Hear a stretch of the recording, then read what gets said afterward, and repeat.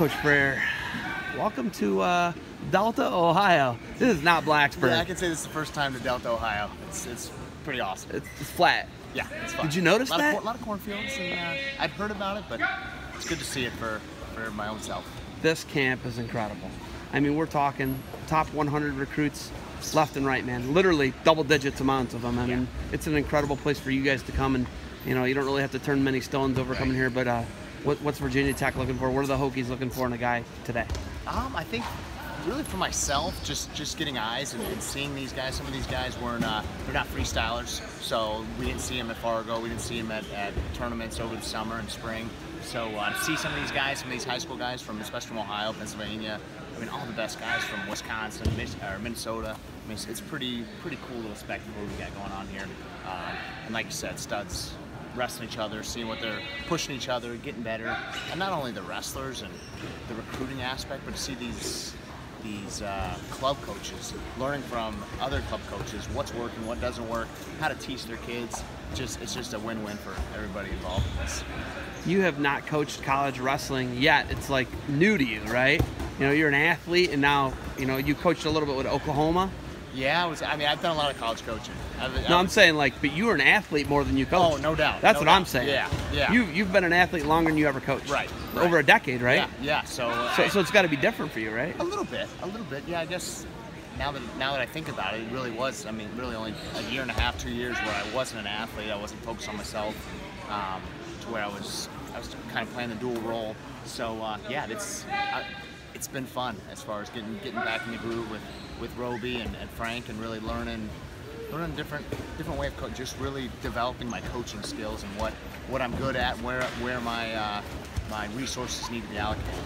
Think about it. All those years you were doing the dual thing, it was you first. Now Yeah. it is. Well, you got a family, so that's Right. obviously they've been first. But Yeah. but like now it's strictly the athletes. You're no longer a competitor.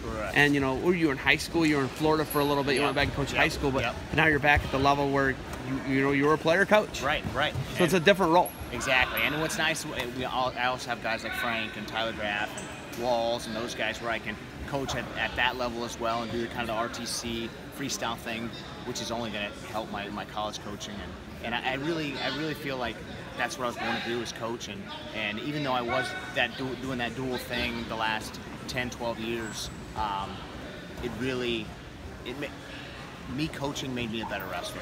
So I really put a lot into my coaching.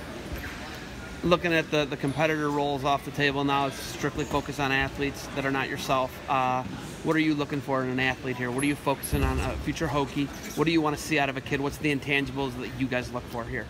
Well, what's nice about this, they're, they're all very high level wrestlers. Uh, we're looking for the guys that are trying to get better. I mean, watching watching the guy. I mean, I'm over there watching Askren teach teach technique because I want to learn something new, and, and to see these guys um, focus on that. They're not just you know, if you see some of these high level guys at, at these clinics or camps, they're just kind of going through the motion and not trying to really let things sink in. And seeing these guys really dive into it, try and learn the position, something new that they've never seen, especially you know funky like Askren showing.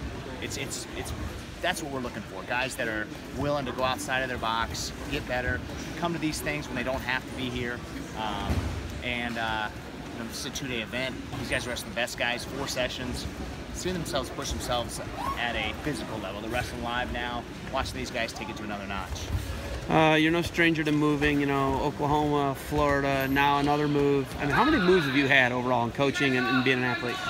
a bunch. Boston to Colorado. I was at Harvard for my first stint for three years, and uh, then to Colorado Springs, then to Iowa for nine months, Wisconsin, Oklahoma, Florida, and we're gonna be in Blacksburg a while. I, I, got, I have a pretty good feeling about that. Are you Um, settled in? Yeah, we're settled in, bought a house. Girls are in school. Life is good. It's been a seamless transition. Now it's time to build some champions for uh, for the Hokies. Okay, you've got all girls, right? Your all kids? girls, all girls. I'm good. You're, I was going to ask I'm you, are you done? I'm out. Yes, sir. You're, you're tapping out? I'm tapping out. I love yeah. it. Yeah, I've seen too many horror stories with, you know, six and seven girls. For us trying, us being the competitor trying to get the boy, we're good. Me and me and the wife are calling it quits.